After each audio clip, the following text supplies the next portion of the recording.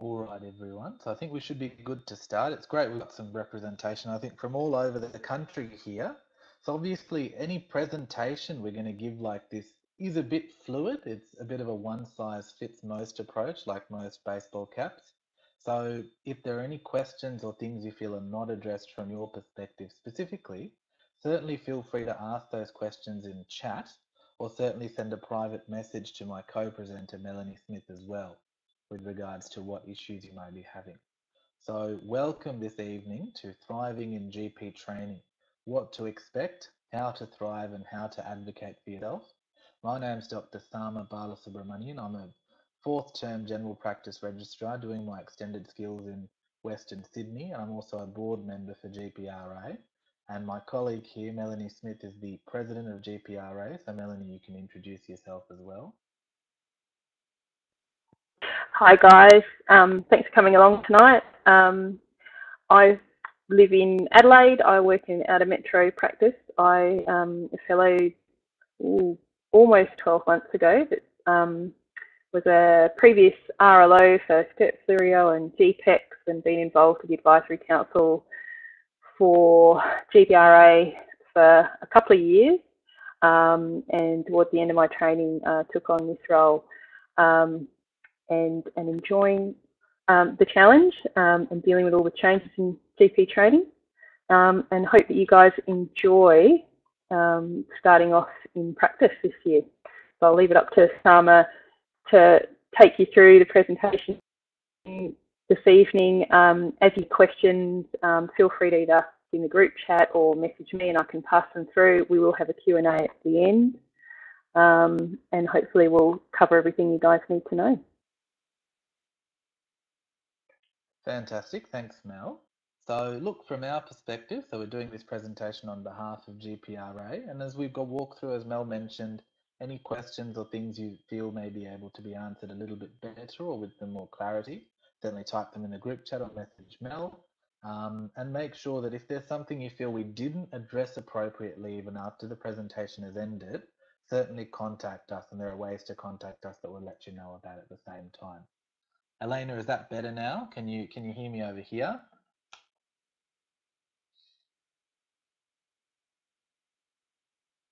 Okay, so I'll keep going now.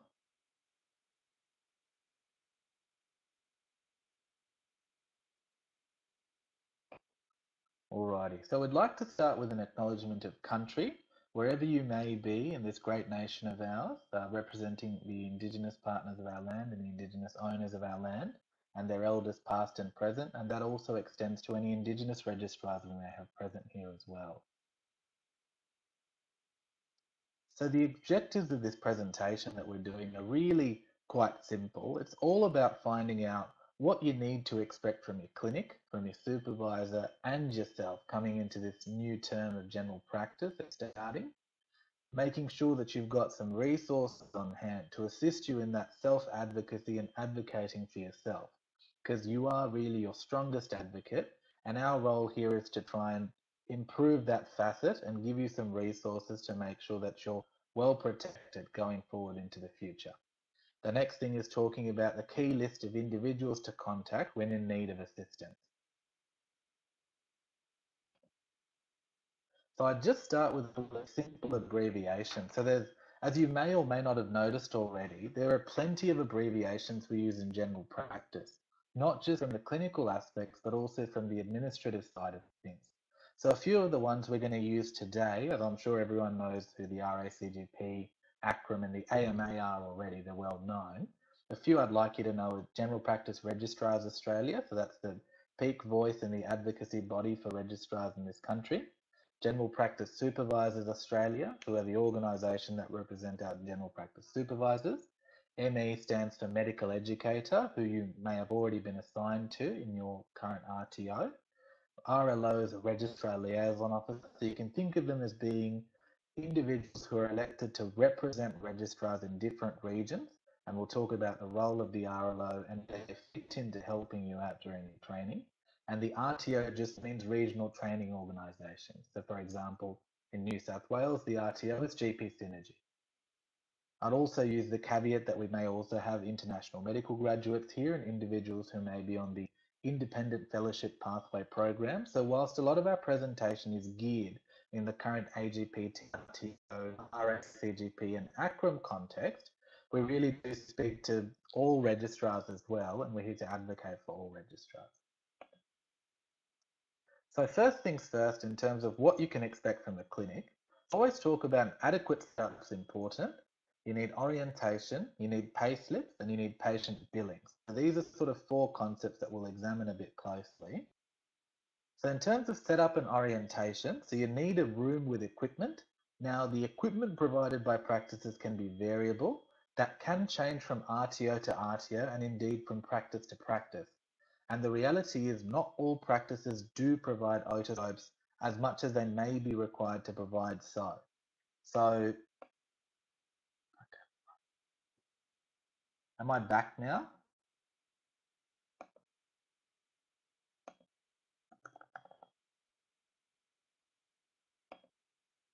Okay, cool. Okay. So if I'm back, yep. So, so you know, so equipment can vary between practices.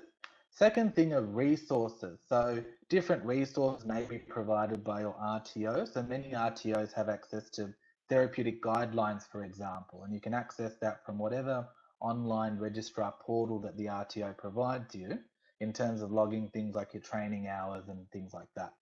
The other thing to think about is an orientation checklist, and that's actually been done by GPSA. And we'd advise you to actually have a look at that as well and see some of the kinds of things that are covered by that and ensure that that can guide you and your supervisor in making sure you're well prepared starting your term. Understanding the practice processes, and that's also in terms of how do recalls work in terms of results? How do we follow up results from patients? How do I inform patients of their results? Do I always do a follow up appointment? Can I call them about their results? There are lots of different nuances change from practice to practice. So it's important to make a list and know that you can ask about those things when you do your orientation. That again, you're well prepared and you can practice that over the course of your first term. The other important thing are remembering the medico-legal dimensions as well. So thinking about things like red flag presentations, what are things that I should call my supervisor for in the first term? And they're things such as fever in a child of less than six months, any rash in a child of less than 12 months when you're a first term registrar. There's a few things that can vary in terms of recommendations from training organisation to training organisation, and certainly gauge your supervisor's perspective when you start in terms of what they think you should call them about and what they think they'd be happy for you to manage on your own. And that's a process where you learn from each other, adapt over time, and then the amount of times you contact them does decrease a little as you go throughout the term. Pay slips are a very important thing. So we need to ensure that they're provided and you need to make sure that they're accurate. And the most important thing to check in terms of accuracy are, is the base rate correct in terms of me being a GPT-1? And you can look at the NTCER to see what your base rate's supposed to be. And also making sure that you get paid for the hours you actually work. So whilst different practices can log training hours differently, if you work extra hours, make sure that you're paid for that. If you work less hours, make sure it's adjusted accordingly. So just make sure you're on top of the pay slips from the first fortnight of pay, that you're not chasing things up later on in terms where it can be a bit more difficult to sort out money matters. Fair Work also states that pay slips need to be given to you within one working day of payday, even if you're even if an employee is on leave.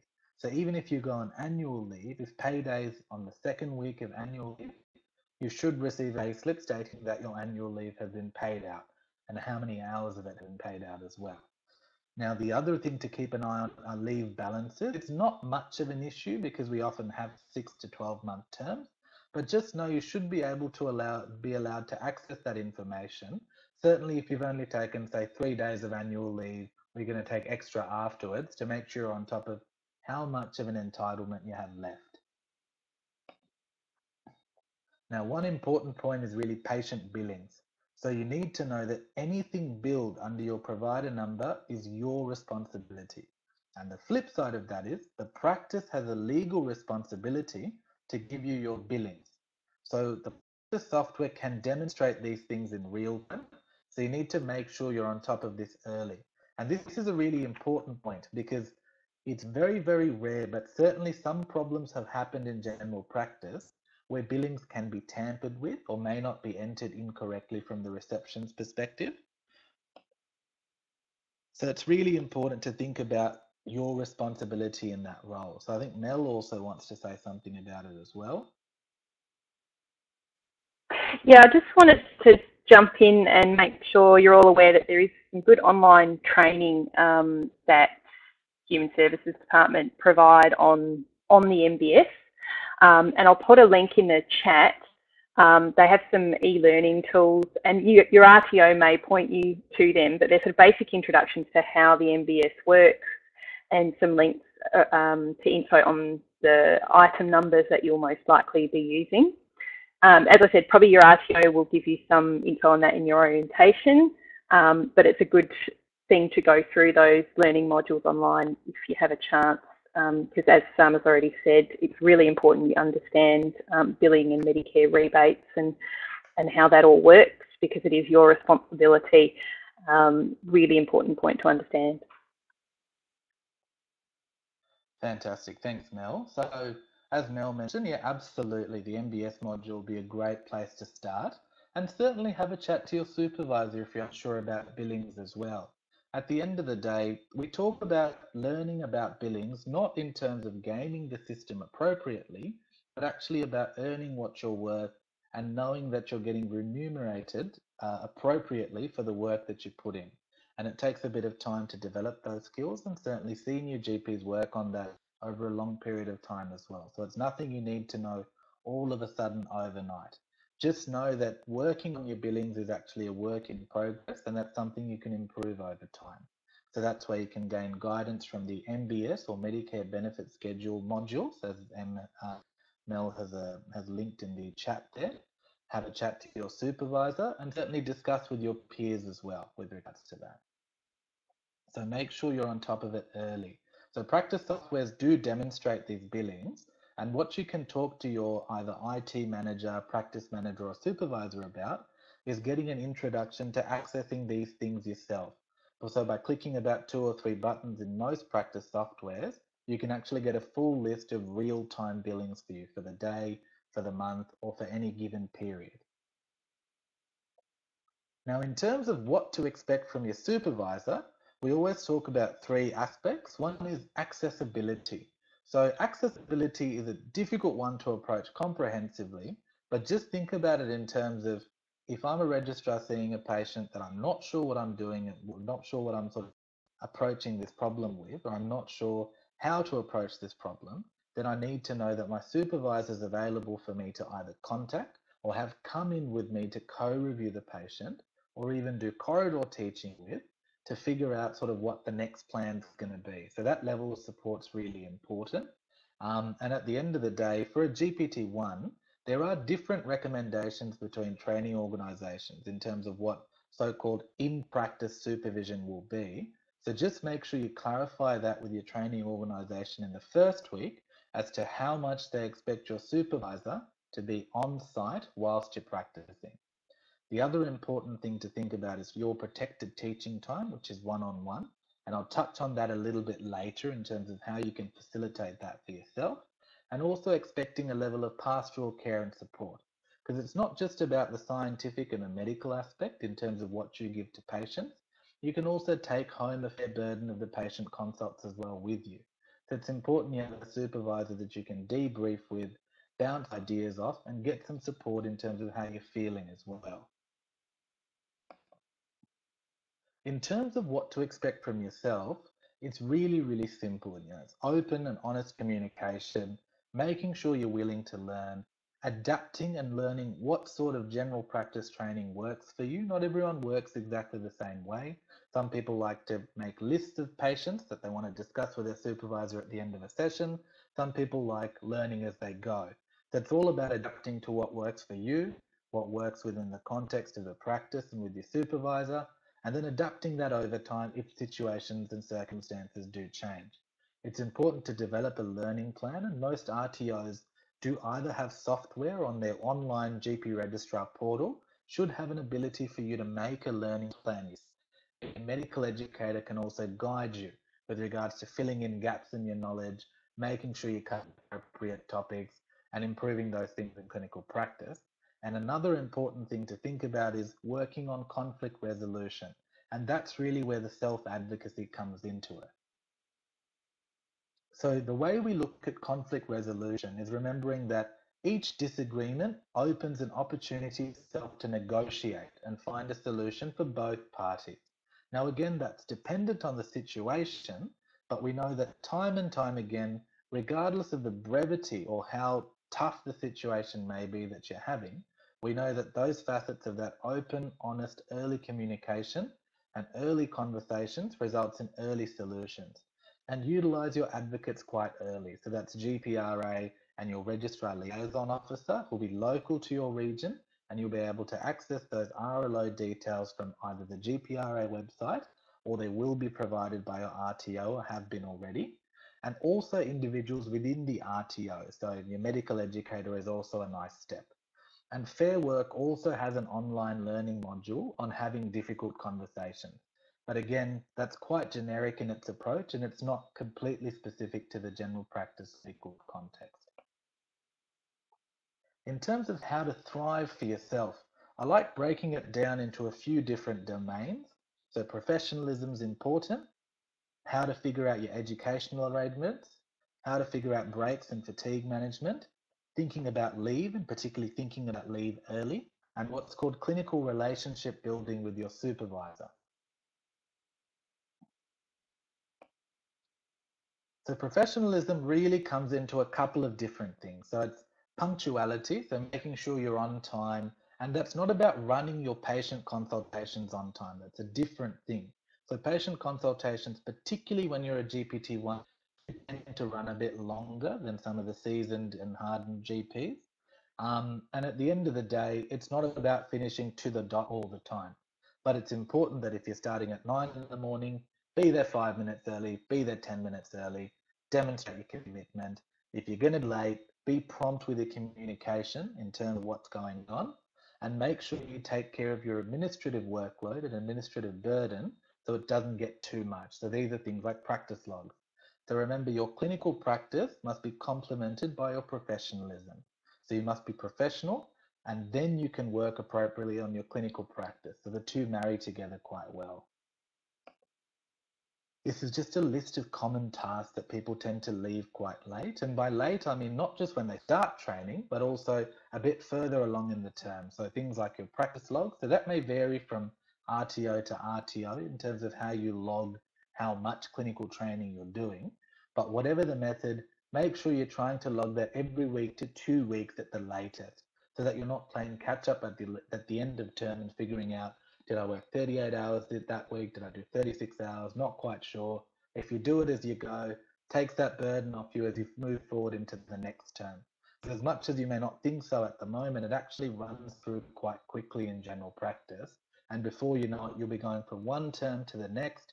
So you don't want a roadblock stopping you from either applying to new practices for the next term or applying for things like exams and stuff.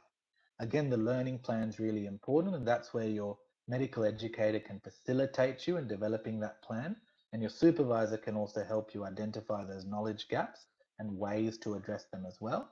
Making sure you're having teaching advisory meetings with your medical educator. So that's what they call it at my RTO. There may be a different name in different RTOs as well, but these are routine meetings with your ME. Doesn't always need to be in person, at least over the phone, where you take the initiative and say, I haven't had my two meetings this term, so I'm going to say, Okay, March I'm going to do one, and then June I'm going to do one. And you book those times in so you know you're going to meet your medical educator. Make sure you're staying on top of your goals and make sure you've got time to receive guidance and advocacy during your training. It's also important to keep on top of any online modules or educational activity that your training organisation may want you to do and ensure you do things like such as your recognition of prior learning earlier on so you don't miss the cutoff. So for those of you who don't know, some registrars are eligible to claim some of their training time that they've done in hospital towards their general practice training time. Obviously that varies from personal experience and from RTO to RTO. So just confirm with your medical educator whether or not you can lodge it and how that process will be. but I'm sure many of you already know about RPL already.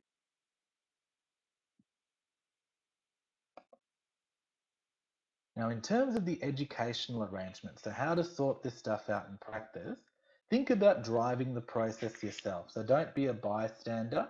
Make sure you make that time for both yourself and for your supervisor. And the key word here, the operative word is protected. So it needs to be one-on-one. -on -one. And for a GPT-1, at least in the New South Wales context, it's one and a half hours per week. And always consider arranging it for the start of a session as well. So if you arrange it for the start of a session, you're actually less likely to miss it due to either patient emergencies or things coming up in between. And make sure that that is also paid time as well. So that's something that your supervisors get paid for in order to deliver you the appropriate education. So if you're the one going to reception and saying, you know what, I work on a Tuesday morning, my supervisor gets here at 10 o'clock, I get there at 10 o'clock, and you tell them 10 to 11.30, let's book in my you know, protected teaching time. Clarify that with your supervisor and then you've locked it in. And then once you've locked the time in, then you can think about what are the things I need to discuss with my supervisor? What are the patient cases I want to examine? What are the concepts or topics I want to discuss? So adopt a structured approach, but again, your structured approach to clinical learning involves a structured approach to the administrative side of things. So that marries itself together. The other important concept is breaks, fatigue management, and leave. So general practice can actually be quite tolling. You can get burnt out. So it's important to think about simple methods to figure out your breaks and managing your fatigue. So many registrars will actually place what are called administrative time slots during your consulting time. So to give you a basic example, let's say you're working from 10 to 2 on a Saturday morning say 10 o'clock to 2 o'clock, you've got 15 minute slots in your appointment book.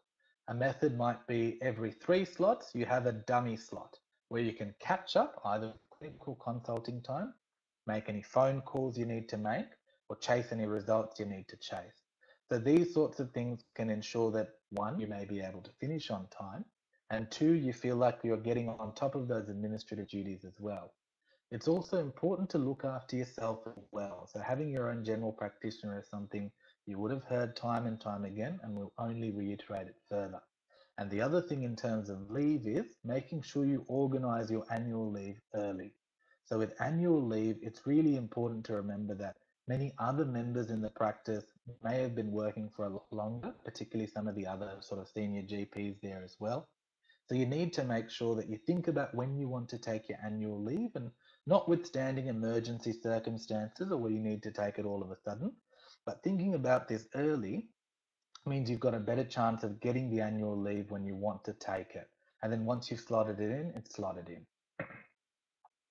Again, with the NTCER, the National Terms and Conditions for the Employment of Registrars, Section 16.2 does cover a clause about fatigue management.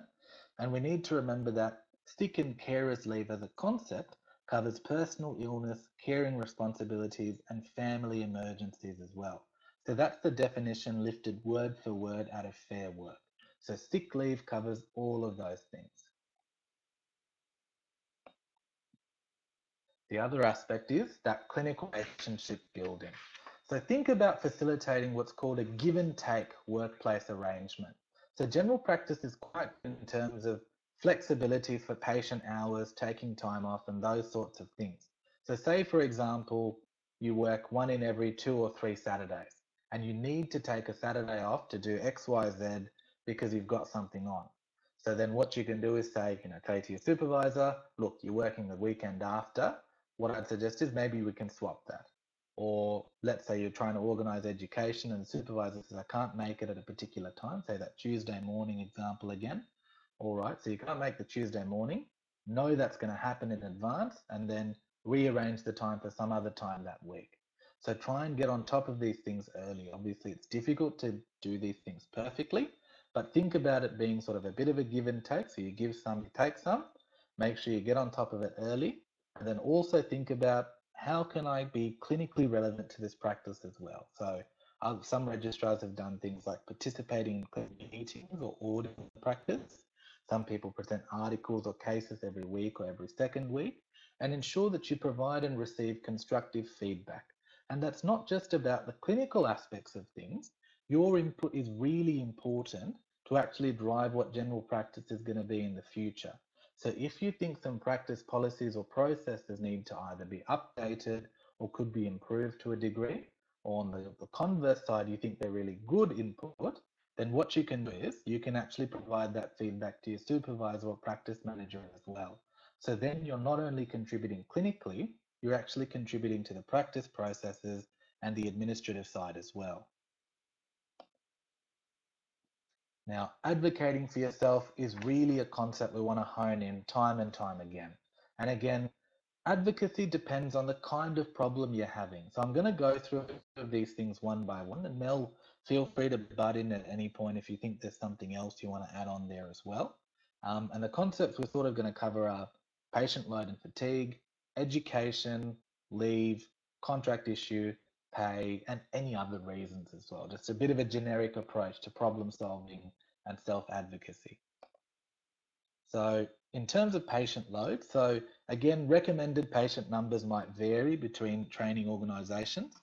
A safe number we suggest is two patients per hour if you're a first term AP registrar, and then you work your way up to three to four an hour, which is about a patient every 15 to 20 minutes.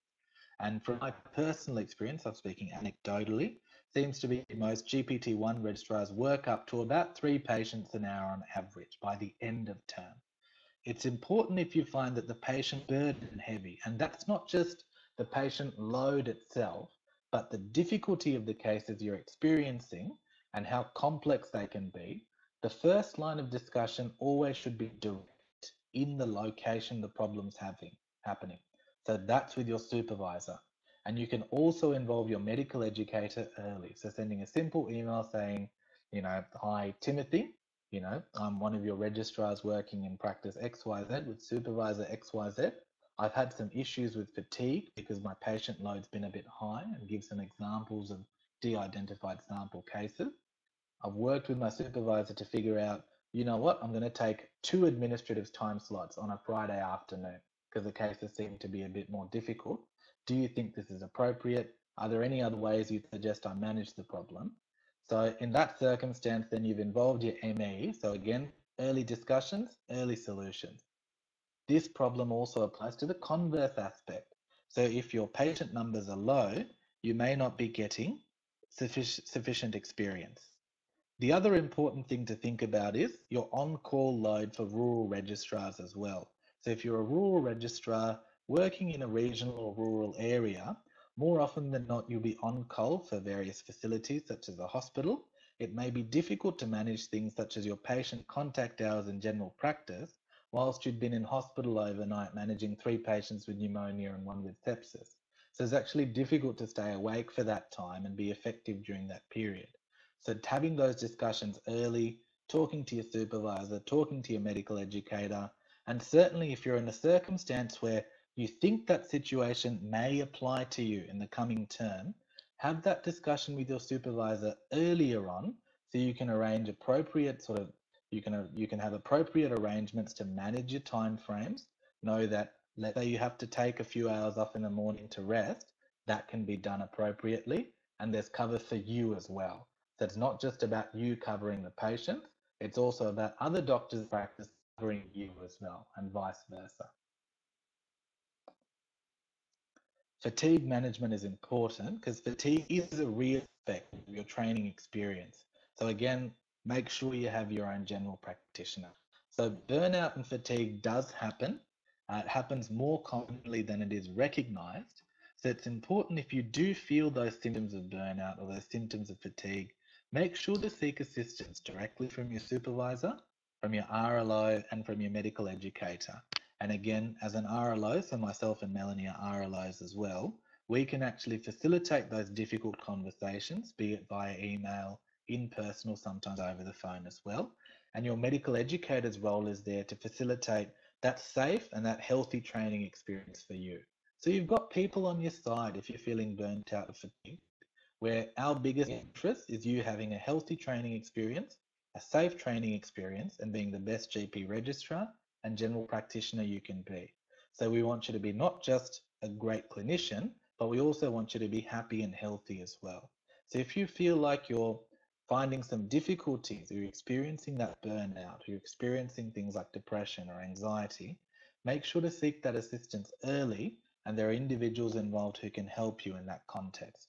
I think Melanie wants to mention something as well. I just wanted to point out that a lot of the uh, RTOs actually have support, particularly when people are uh, going through a period of uh, difficulty, whether that's burnout, whether that's other stuff going on in your life that's um, making training a little bit difficult at that particular time. Um, a lot of RTOs have sort of uh, they're like employee assistance programs where they can get you access to some psychological support. Um, so there's access through RTO. There's also, if I know certainly for the RACGP, um, if you're on the RACGP pathway for training, you will be a member and you can get access to some psychological support over the phone through your membership of the college. Um, I'm not entirely sure whether ACRRM has something the same or similar, but they may well do. Um, but probably the most important thing is, as um, Sam has mentioned, there's lots of people on your side and wanting to support you the best thing you can do if you are experiencing any difficulties is to talk to people early. And strong communication, both within your practice and particularly with your medical educator and RTO, are really, really helpful. Things go haywire when people kind of struggle um, and keep it to themselves and just kind of soldier on, and then they get themselves into more and more, and more difficulty. So um, seek support early is the main message. Fantastic. Thanks, Mel. Now, in terms of education, so managing problems with education in clinical practice. So education is a bit of a broad concept. We're really talking about that in-practice teaching time, those corridor consultations where you either see them in the corridor, knock on the door, or even give them a phone call to ask them a question, and even things like educational release. So again, same process. You want to try and sort of discuss these matters directly with your supervisor and involve your medicator, medical educator as well early on. So we need to remember that supervisors have provided funding for doing in-practice education and covering things such as corridor consults. And they've signed an agreement with the RTO that when they take you on board as a GP registrar, they have a responsibility to provide a set level of education. So that education time each week needs to be protected. It needs to be one-on-one, -on -one, so it can't come in the format of a group clinical meeting. So if there's one supervisor in the practice with two GPT-1 registrars, then they need to do an hour and a half with one registrar and an hour and a half with another registrar.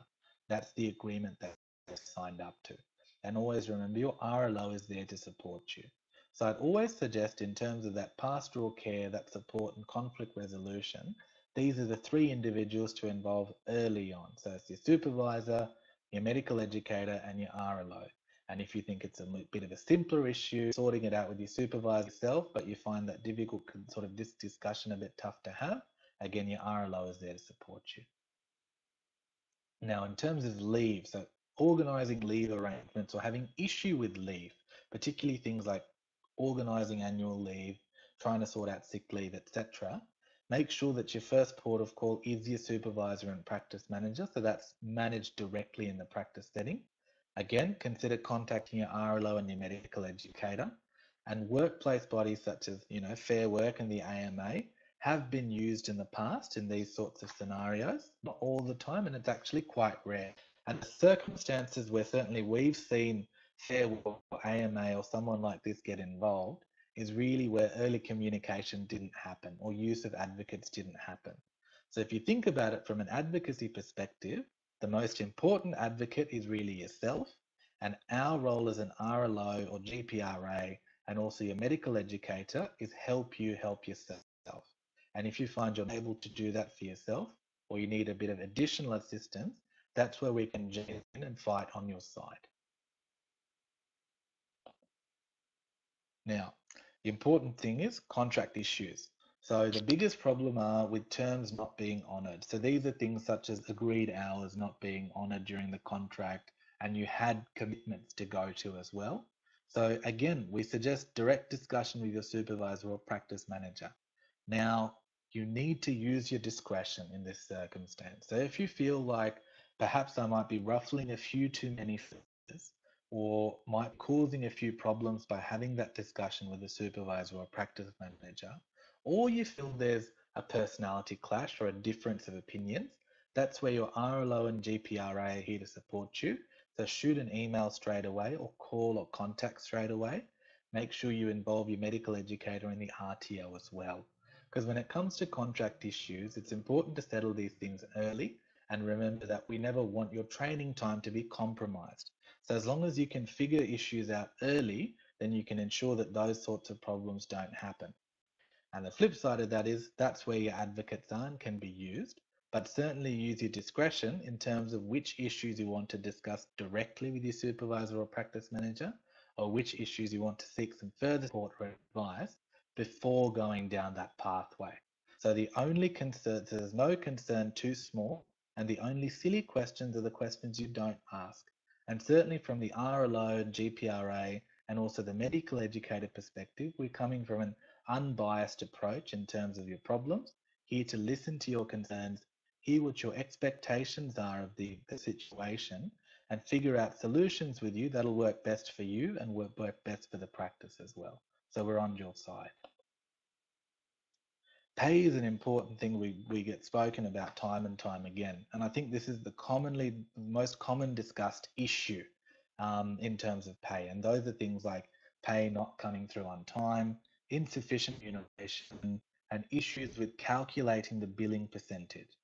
Again, direct discussion with the supervisor or practice manager is suggested.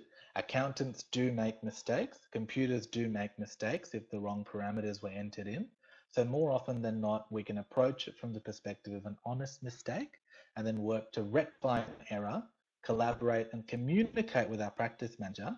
And then what you do is you build your relationship as well as solve the problem for them. So you're doing them a favor with regards to rectifying these things. Make sure to utilize your RTO, RLO for support.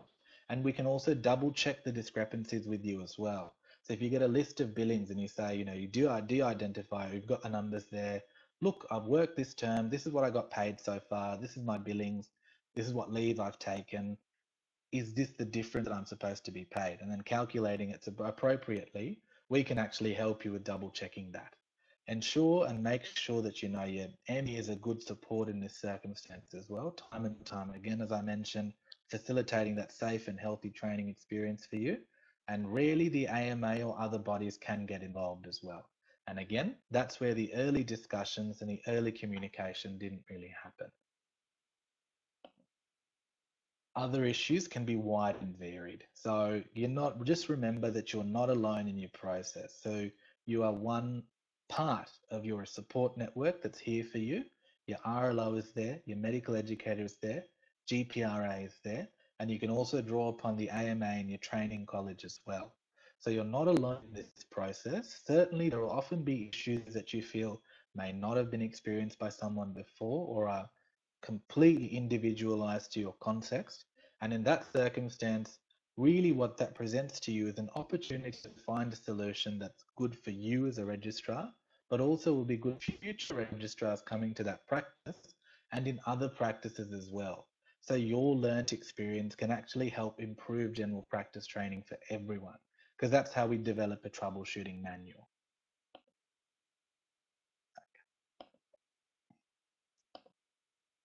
So another concept I just wanted to touch on quite quickly is called managing the mid-consult. So I received a few messages um, about check doing things like checking guidelines and clinical core uh, resources in the middle of a consult or utilizing your supervisor. So I've just noted some sort of simple ways you can facilitate that discussion as not all of us may have the same confidence or clinical acumen to be able to say, you know, I know exactly what this is every time. So some ways that have been suggested to me by other registrars and supervisors. So let's say you're in a consult with a patient, trying to figure out antibiotic dosage or what medication you need to give someone, want to look up therapeutic guidelines, but make sure you don't lose faith. Lines to use might be, let's see what the latest evidence suggests I just want to make sure you're getting the latest treatment. That should be latest treatment. And let me just confirm we're using the right dosage for this medication. And in terms of utilizing your supervisor, the important thing is not to be afraid to contact them.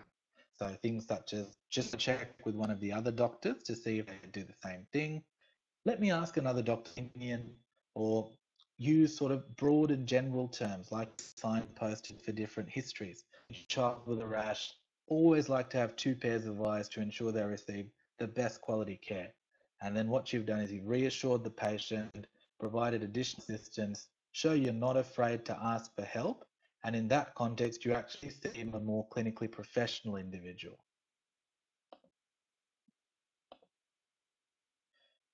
I think Mel wants to say something as well. I just wanted to say that um, a lot of the time patients love it if you look up extra information or you bring in someone else to look at them. They kind of feel like they're getting two for one. Um, so don't be hesitant at any stage and don't feel like you will lose faith um, by asking for help, um, particularly you know with a, a difficult uh, diagnostic dilemma or you know choosing between different management options for something. Um, you'll generally find that patients are really really receptive to it and they'll sort of congratulate you on how thorough you are. So um, don't ever let the that idea of losing faith sort of hold back from seeking the help you need.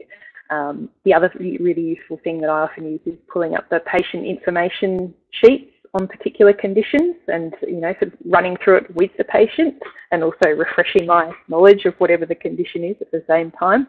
That can also be really useful and, and helpful and they love patients love to have something to take home. So if you can print out an information sheet and give it to them to take home um, all the better Yep, completely agree, Mel. Completely agree. And I think my, my clinical practice and those of I think my colleagues as well and friends reflect exactly that. So again, coming back down to the tail end or the pointy end of the stick, early discussions, early questions, early solutions. That's the key word here. The operative word is early. So remember to be open-minded, empathize with your supervisor, see things from their perspective as well, and that'll enable you to give a more balanced approach to the problem as well. Be honest in terms of what you're saying and what you're feeling, and make sure to stick to your guns. So if you feel like something's not quite right, follow your nose, you're probably right. And that's where your advocates come into it. So again, talking about GPRA, so GPRA is really your advocate, your voice and your organisation. So it's the member-driven organisation for general practice registrars in this country, regardless of whether you're training with an RTO or not. Membership is free. Certainly join today, and certainly you're already part of GPRA if you've gone to this presentation. We've also got things such as educational resources, and I'll go through a couple of other things we're working on in the slide as well. So in terms of some basic resources, so you'll also have a copy of this, or you'll get a copy of this presentation afterwards as well. So GPRA, so we're working, we've worked on a document called Getting Started in Your GP Training, a quick guide, and all the RLOs that your orientations moving forward into the next term will have access to a copy of this document and most likely we'll be able to print them out and provide them to you. So it's a two A4 sheet guide in terms of getting started, some quick tips and tricks. It also covers a few issues people discussed and a few questions people suggested about what do I study or what are some resources I can take starting the term. And it also talks again and talks to that concept of conflict resolution, adequate communication, open communication, um, and resolving issues early and who your advocates are in the system. It's important you're also familiar with the NTCER, so the National Terms and Conditions for the Employment of Registrars. And I think the relevant aspects to talk about from there would essentially be, you know, think, looking at the leave perspective, looking at the um, the wages and how much is supposed to be paid and the billing percentages. And having a little look if you do have an issue with something that's happening and you feel it's related to contracts or something to do with how you're paid check the NTCER first. There should be a relevant section and then see what it suggests with regards to that. Because when your supervisor takes you on board they agree to the NTCER being the minimum terms and conditions for you starting in that clinical practice always have a look at the Fair Work Ombudsman if you think there's something happening with regards to leave arrangements or something not being taken forward. The fellowship pathways policies talk about what's expected of you as a trainee in your clinical practice and the various ways to sort of become an RACGP fellow. I will state that's RACGP only. I haven't got the ACRRM link or any of the others at the moment. Um, and also that's the orientation checklist here from General Practice Supervisors Australia. So that goes through a little one page document that you and your supervisor can sit down, nut out and tick together. It takes about 10, 15 minutes in total. And you can do that on your first day just to make sure that all the basic processes of clinical practice where you're working are taken care of. So coming down to the Q&A, I think before we um, sort of launch into all the other aspects um, that I'm sure you guys are sort of willing to talk about, just wanted to talk to a couple of things specifically people have sent us. So two things people have sent us were about, one person asked about managing pediatric patients, another patient, and another individual asked us about how study hours the night after work is ideal, and another person discussed about study groups. So from all those concepts, the RTO should be able to cover from that perspective, and the RTOs do have some good um, sort of tips and tricks and also presentations and workshops in terms of how to study for exams and prepare. And certainly that's a space GPRA will be occupying coming into the next term. So just keep an eye on your email inbox and keep an eye on the GPRA website and we'll be we'll be also doing some work from that perspective. So coming to the floor, Mel, is there anything else you wanted to discuss before we sort of open up the floor to everyone to ask questions? Um, I guess, yeah, just going through some of the questions that people had sent through. Um, there are some, obviously, we've talked about, um, you know, how to handle it when you don't really know what to do when you get a new presentation. And we've talked about asking for help, looking up resources, um, and people have asked about sort of the best resources out there, um, books and things like that certainly, um, obviously, your therapeutic guidelines, your Australian Medicines Handbook, um, if you've um, got access to up to date, that can be useful. Um, there's also the, the old uh, um, textbook um, that can be useful when you're starting out and a little bit um, around exam preparation. Um, don't forget your college websites. both RACGP and ACRRM have lots of really good resources online and specific sort of online learning programs um, and sets of guidelines and things like that that you can look at. Um, there's also resources like the Royal Children's Hospital's got great set of clinical guidelines online and you know, diagnostic imaging pathways from WA. There's lots of good stuff you can have online and I'd really suggest that as, a, as you're starting out in practice, um, maybe having your, your web browser open and a whole lot, and sort of a set of bookmarks, your favourite resources that you can access, um, you know, with a single click is really helpful.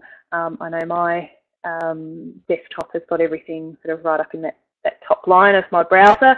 Um, things like DermNet, I would look at DermNet every day um, and show patients images um, and to help me confirm a diagnosis. Um, and I'm pulling up ETG all the time. Um, we've also, and, and I guess that's sort of how you, you help to, to deal with some of your uncertainty is looking for resources. Um, also, don't be afraid to bring patients back um, and to review them. Um, and, you know, even to phone them after they've gone home to check on how they're going. Do the things you need to do to, to help you sleep at night um, is a really key message.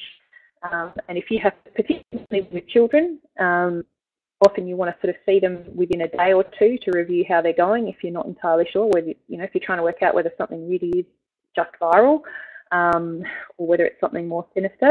Um, don't be afraid to bring patients back frequently and review them. And you learn heaps by seeing um, the way an illness progresses over time, and that's probably something that's that's quite different to what you may have experienced in hospital-based medicine in the past. Um, what other sort of questions did we get?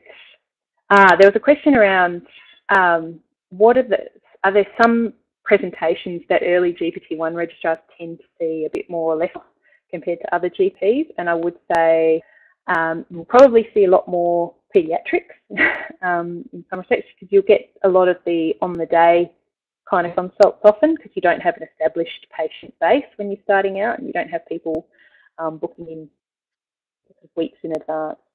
So a bit of P um, and those sort of acute presentations which may be your comfort zone, particularly if you've done a lot of time in ED before coming into general practice. You'll probably see a little bit less of the chronic disease management, but you may see little um, snippets of that if people can't get into their usual GP and they come to you.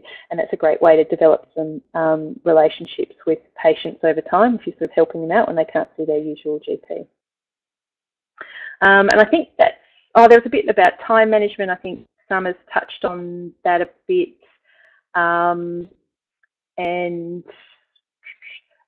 I guess that that's a, a really a big question um, and, and, a difficulty for all really, and you know, um, later stage registrars. The eternal battle of the the GP really is time management and incorporating the many many different demands on your time through the day, um, and that's something we'll, you'll probably hear more about from RLOs um, and from your RTO during orientation, and talk to your supervisor about as you go along. Um, that's probably all I'm thinking I've got for my list of pre-questions. We've had a couple more come up in the chat. Um, there's a question about potential for maternity leave. Um, is that something that needs to be in the contract? Okay, an important thing to realise that when you're in a GP registrar working in private practice, um, you don't generally um, unless there is a particular provision by your particular employer, you don't generally get access to paid maternity leave. Um, you will sort of under the auspices of Fair Work have some access to um, unpaid uh, maternity leave, but it's quite difficult because for GP registrars, you're generally on six or maybe 12 month contracts. Um, so it's often um, quite a different situation than you will have been used to working in hospitals. Um, and it's a big dis disadvantage of general practice um, in a lot of ways. So if you do have particular questions around maternity leave, um, probably best to talk to your RLO um, or give us a call and talk through your individual circumstances. Um, generally, it is good to let your employer know as soon as possible, but obviously that depends on your comfort level as to when you want to um, let them know what's going on in your life. Um, but you certainly are able to take time out of training for maternity leave. That's not an issue. Generally, though, you won't be paid for it. You'll only have access to um, the federally funded sort of public um, parental leave scheme.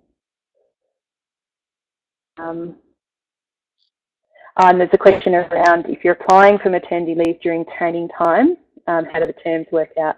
That's kind of tricky because obviously you often don't have a lot of control over when you take maternity leave. So unfortunately, it often doesn't sort of fit perfectly in with your, your six month terms. Um, but that generally isn't a problem for RTOs, um, and it, it will vary between RTOs as to how they manage it. Um, some places it'll be easy to sort of come back when you feel you're ready, um, but a lot of it depends on finding an appropriate placement for you, and that may be in the placement you're in prior to going on the maternity leave, or it might be in an entirely new placement. So um, how your RTO manages the placement process, because obviously that varies a lot across the country. Um, in some RTOs, it's sort of a free market. You apply to where you want to work. In other RTOs, you're pretty much told exactly where you have to go for training. So um, talk to your RTO is, is probably how you're going to incorporate that into your training time and where you'll transition from between the different terms. Um, Sana, did you want to answer the question around your very first day at work?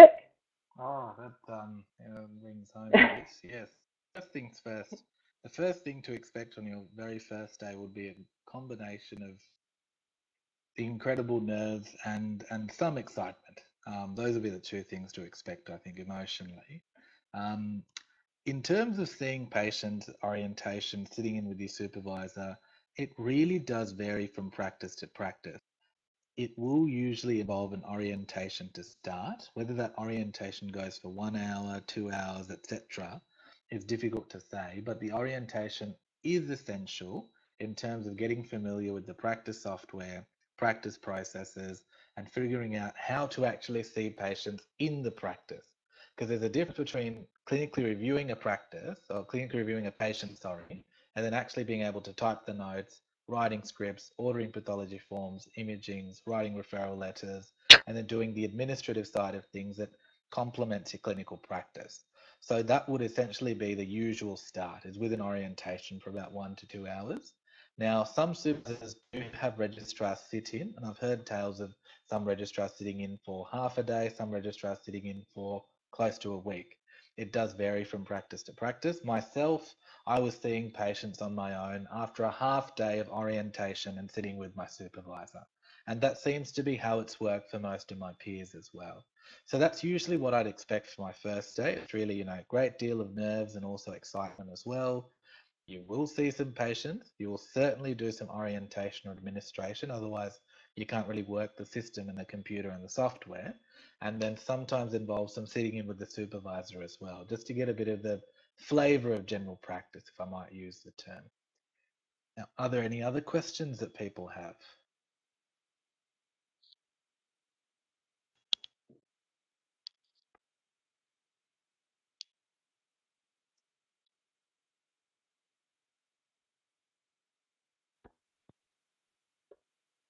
There was another question um, when people were signing up. Um, someone asked about paperwork and how do you time the completion of that and do you do that post consult?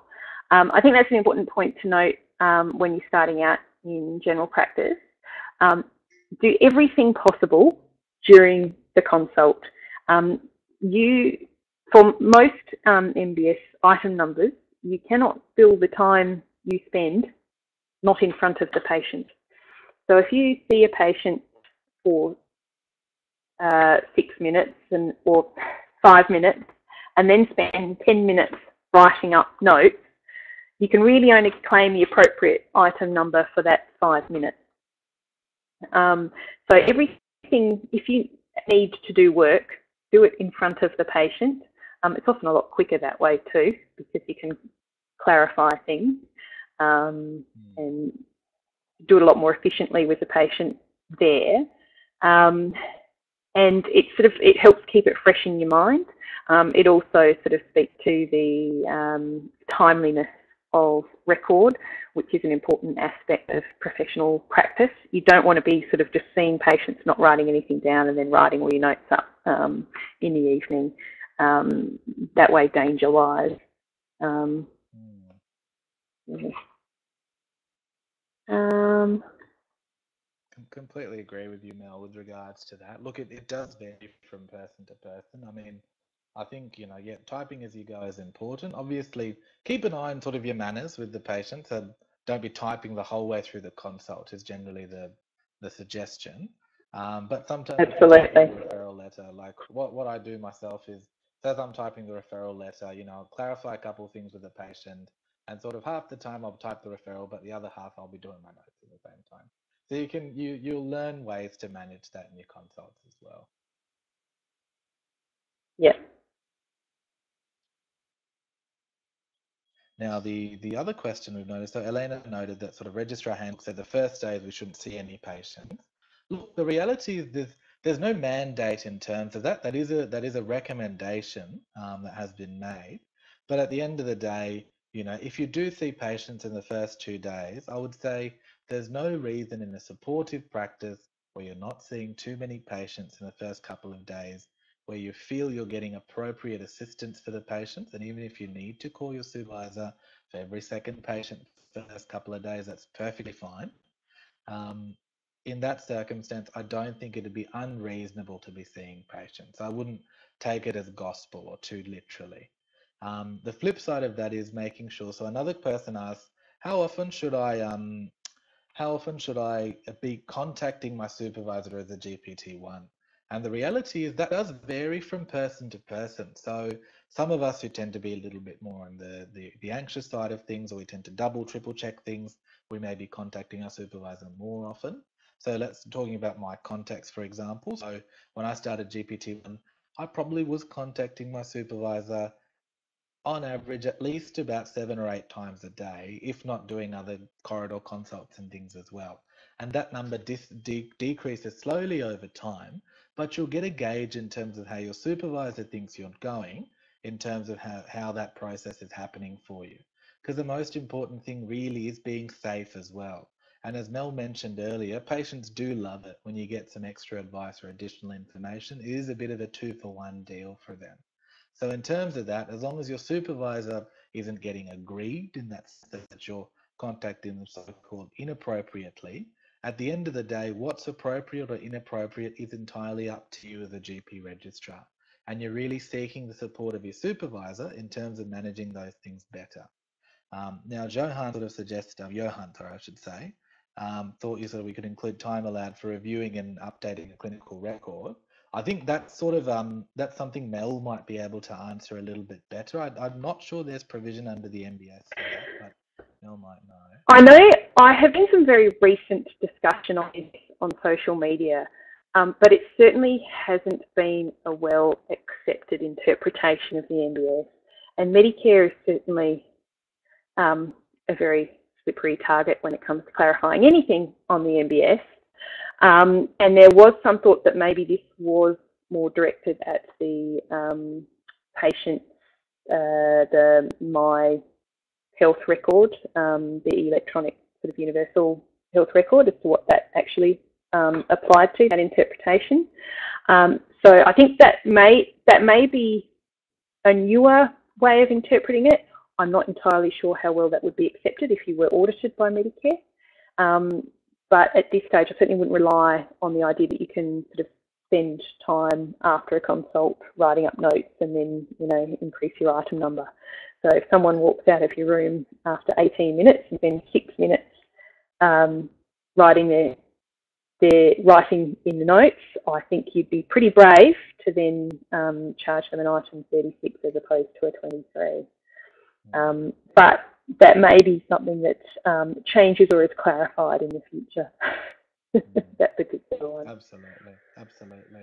Um, and look, I completely agree with you, Mel. That is that is recent discussion more than anything. I'd always suggest watch that space, and as we mentioned about keeping an eye on the MBS criteria in those modules, be involved. Ask the questions again and again. Every three or four months, just ask yourself the question am I billing am I billing the right thing? So always re-review your billings every few months would be the advice. Uh, now, Rekshini asked, is it needed to keep our own records of the patients seen daily? Um, look, it'd really be for your own learning more than anything, because the record of the patient seen daily is on the practice software as it is, so it's not something you need to take home with you.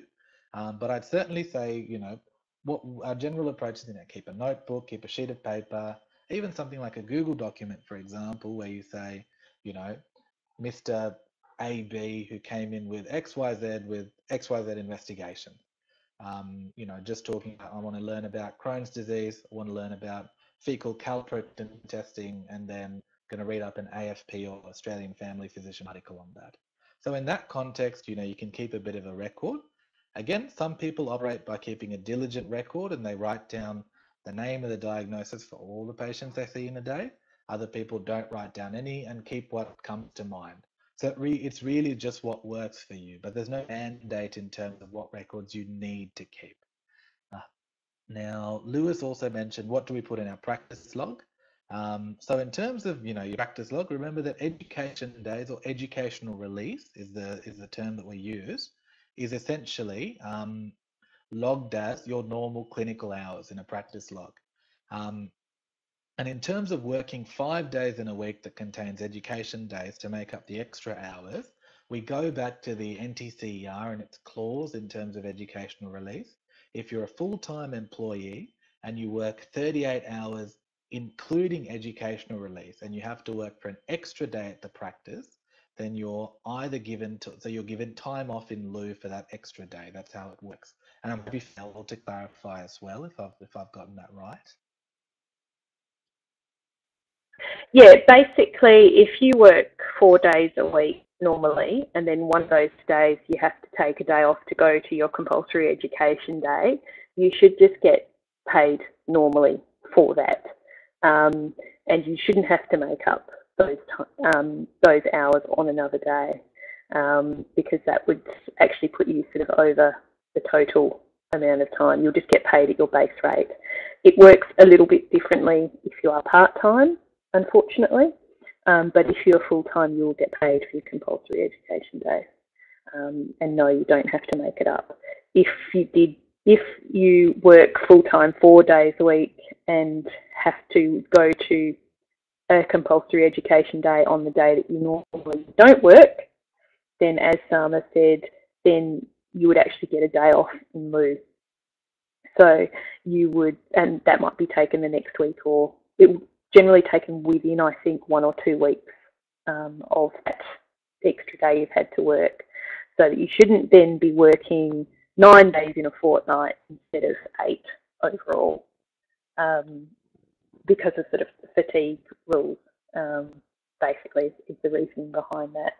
So you still get paid your normal base rate um, sort of four days per week, you know, working out to full-time hours across the fortnight. Um, and you should be sort of only having to be attending either training or work for that total amount of hours. Does that make sense?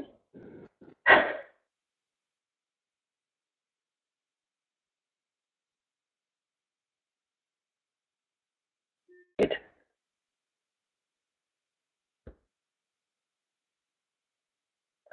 Uh, Madeline asked the question around if you do work part time and if you don't usually work on the education day. Um, no, that is a difficulty. Um, you don't get paid, but I think I'm trying to remember this. Some, this might be one of the items that changed in the last interpretation, last negotiation round of the NTCER. I think now you can actually take that time in lieu, possibly. Trying to remember. I'll have to go back and check on that. Um, or Sama, if you can remember, um, it is. It doesn't work the same for part time, and basically, it's um, it's a tricky one, and it is a point that they tried to have changed in the last negotiation round of NTCER, but essentially you are disadvantaged in that respect if you're part time, and you don't end up earning as much as a full time. No, that's right, Elaine. If you work two days a week and then on a different day that week you go do education, you won't get paid for that education day.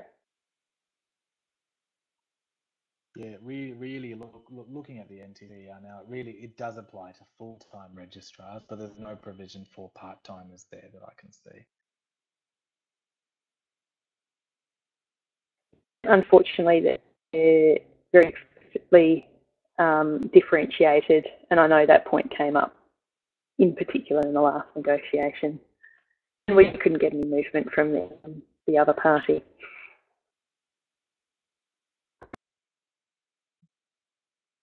So, um, are there any other questions or, or burning issues that people want to discuss or, or cover or ask answers for?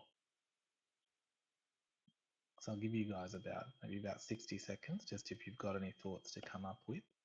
Um, otherwise, we'd be looking at ending the presentation. So I'll just give you guys a 60 seconds.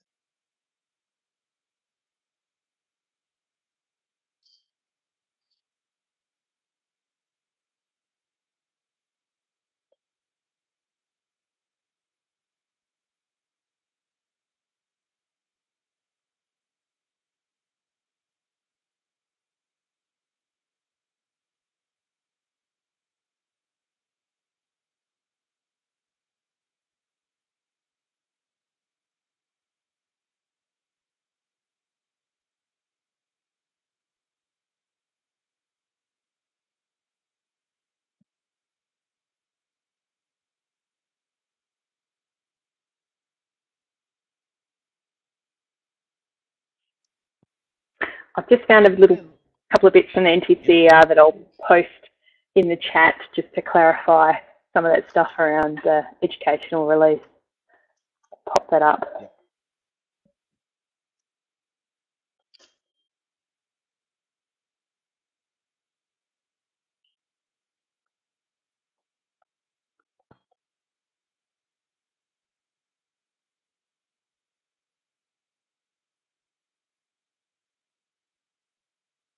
Rex the GP Synergy Workshop will be paid on the basis that you're a full-time registrar.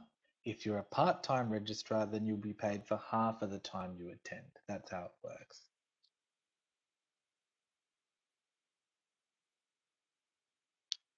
So the GP Synergy workshop plan for the orientational for any RRB is educational release. So it's not just I'm going there for orientation, it's also the clinical work as well. So that's what we mean by marrying the administrative and educational side of things. So that's all part of your GP training, not just clinical things, also administrative side of things as well.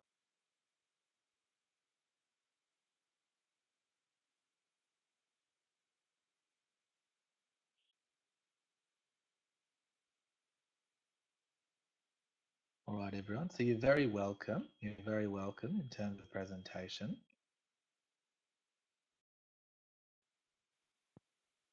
So thank you to Sama um, for speaking to us all tonight and uh, running through all that really useful info.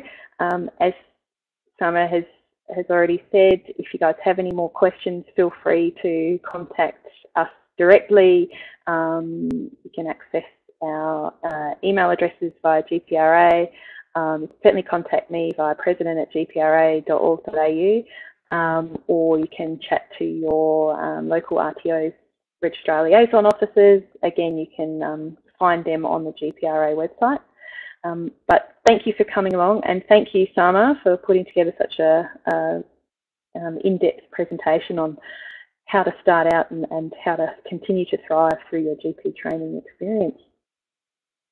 No worries, Mel. Thank you for your support and your help. And thank you everyone for coming along.